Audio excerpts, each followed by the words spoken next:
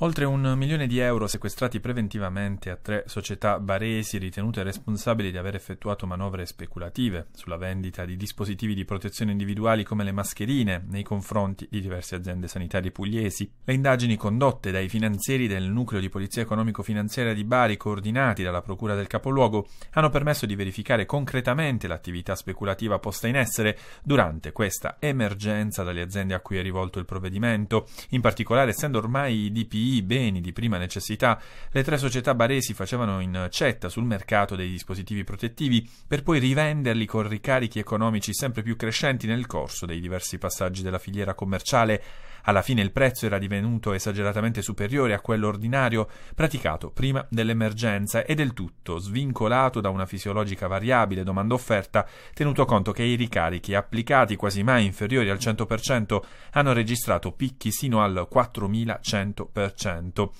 L'operazione chiamata dalle fiamme gialle ad ogni costo ha consentito di acclarare come una delle società coinvolte avesse acquistato nell'ottobre del 2019 da un fornitore cinese, estraneo però alle indagini, oltre 127.000 mascherine filtranti FFP3 al costo unitario comprensivo dei costi accessori di 0,36 euro. Nello scorso mese di marzo, quando la ricerca dei DPI era diventata davvero incessante, le stesse mascherine sono state rivendute ad un'altra società fornitrice di aziende aziende sanitarie pugliesi al prezzo di oltre 12 euro cada una. Quest'ultima società barese ha infine ceduto le mascherine filtranti agli enti sanitari a prezzi oscillanti tra i 18 e i 20 euro al pezzo, IVA esclusa. La gravità della condotta esplicitata dai finanzieri e dalla Procura in realtà riguarda anche l'abuso da parte delle società in qualità di prestatori d'opera necessari. In questo modo infatti avrebbero dolosamente profittato di circostanze di tempo e di luogo tali da ostacolare, o quantomeno rendere alquanto difficoltosa, la protezione sanitaria di pazienti, medici, infermieri, operatori della sicurezza